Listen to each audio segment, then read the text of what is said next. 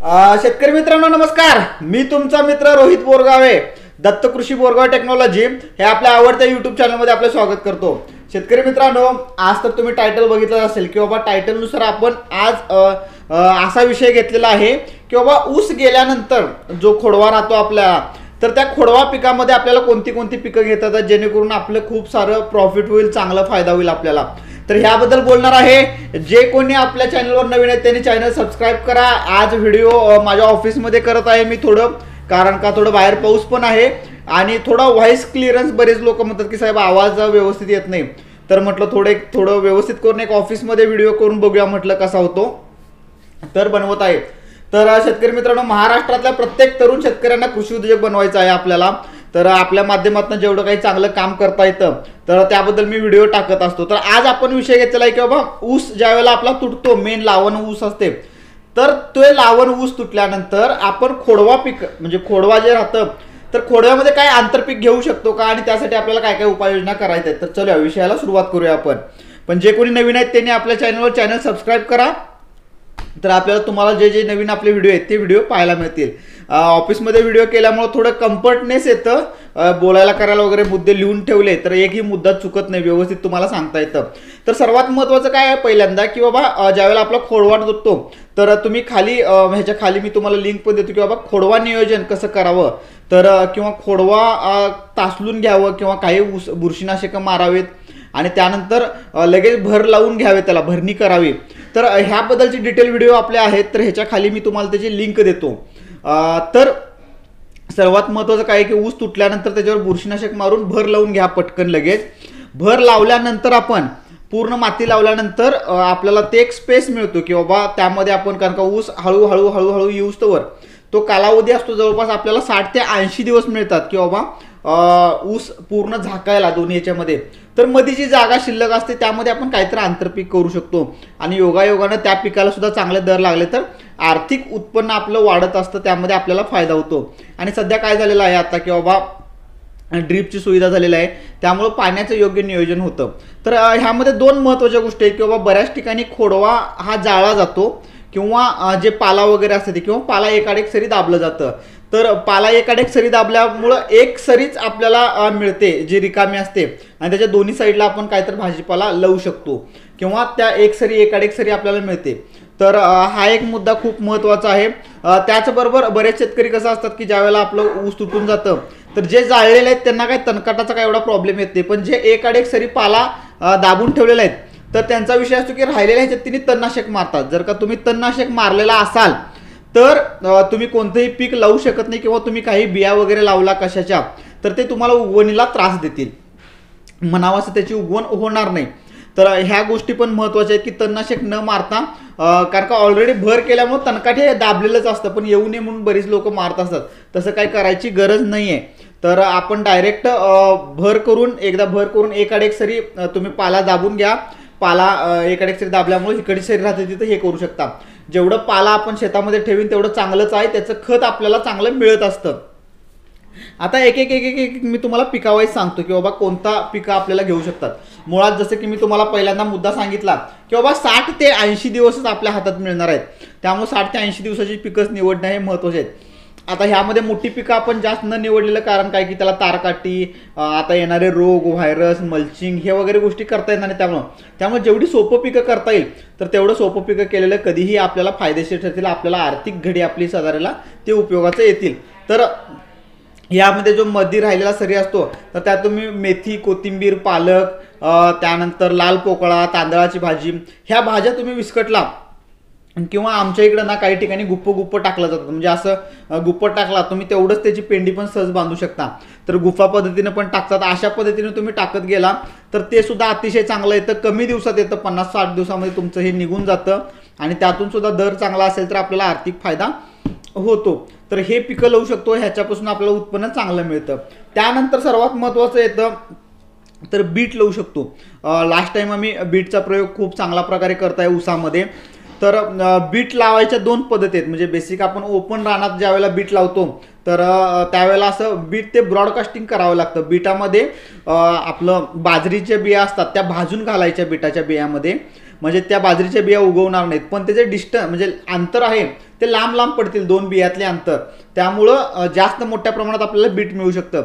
तर मध्ये drip line असेल आणि आपण सारखं ये जा करणार नसो तर त्या मधल्या साईड डायरेक्ट तुम्ही ब्रॉडकास्टिंग केला तरी चालू शकतं. ह्याचा फायदा काय होतो आपल्याला की बीट खूप मोठ्या प्रमाणात आपल्याला जास्त संख्या मिळू शकते बीटाची. आणि समजा जर का रेट नसेल बीटला तर बीटला ऑलरेडी दोन ते पाच सहा रुपयेपर्यंत कंटिन्यू दर असतोच असतो. जर का रेट नसला बीटला तर तुम्ही काय करू शकता? की ते गाडून टाकू शकता. हाय असं त्याचं खत तुम्हाला चांगलं होऊ शकतं. तर हा एक त्याचा फायदा आहे. जर का समजा बीट ब्रॉडकास्टिंग करायचं असेल तर आमच्या इकडं टोकून पण घेतात प्रत्येक.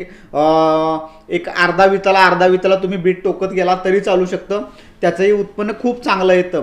सर्वसाधारण उद्देश काय आहे ह्याचा? की ह्या माध्यमातून आपल्याला समजा तीस चाळीस हजार रुपये मिळाले तर पुढच्या पिकाला येणारा खर्च जरी ह्यातून निघाला तरी आपलं पूर्ण फायदेशीर आपण यामध्ये ठरू शकतो.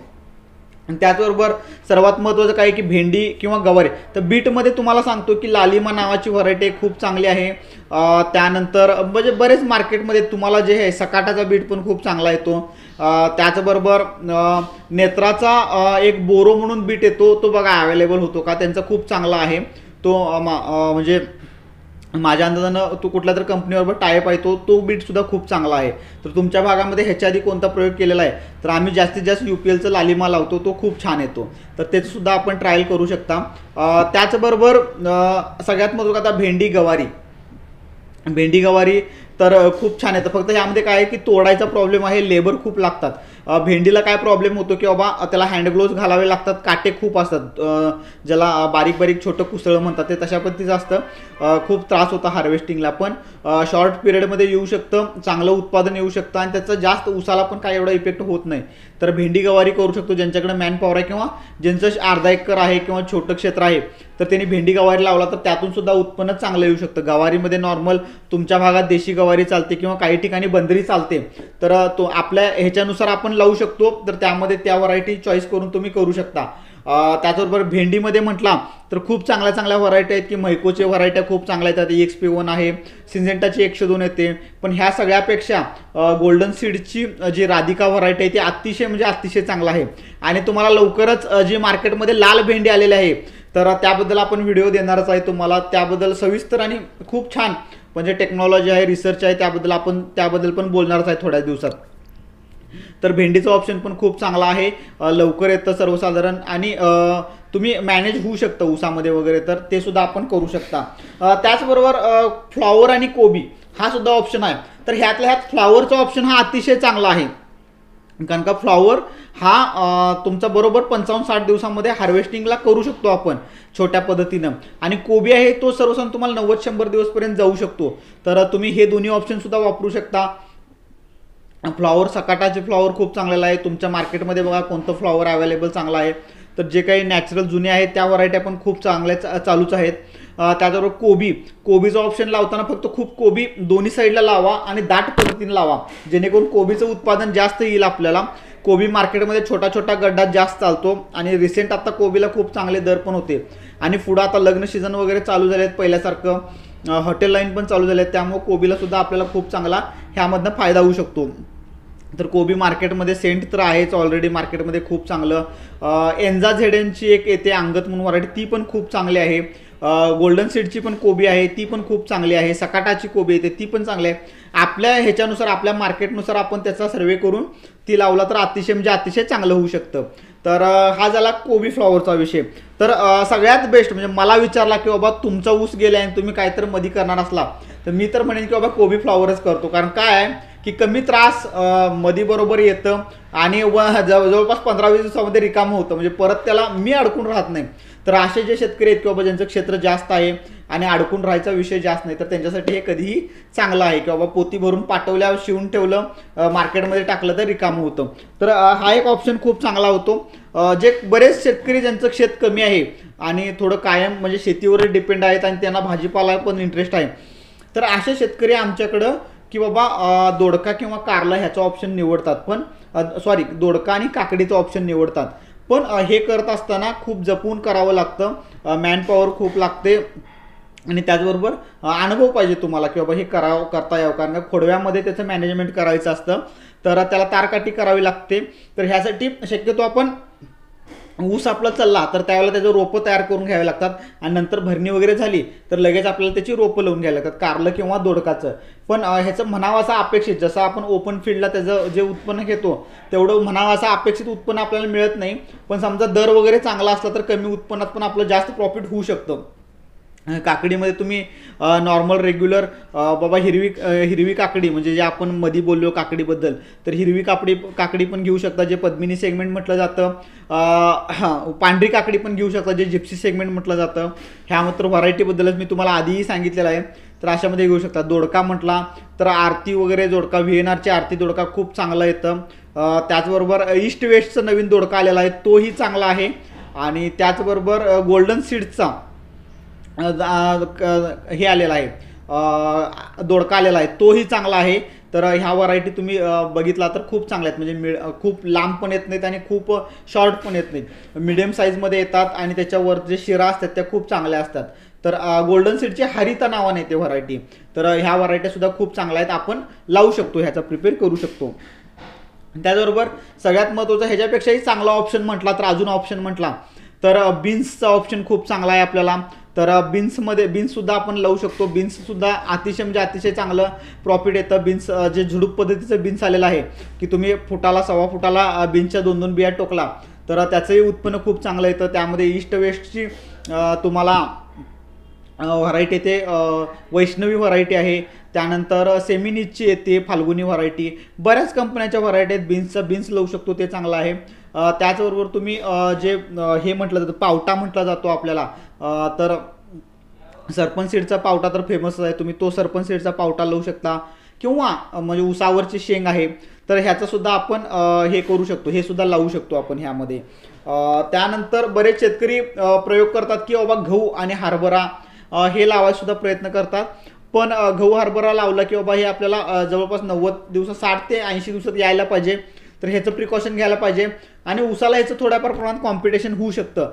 तर ज्यांना प्रॅक्टिस आहे ह्याच्या आधी लावतात तर तिने लावलं तर त्यांचं खरोखर चांगलं होईल.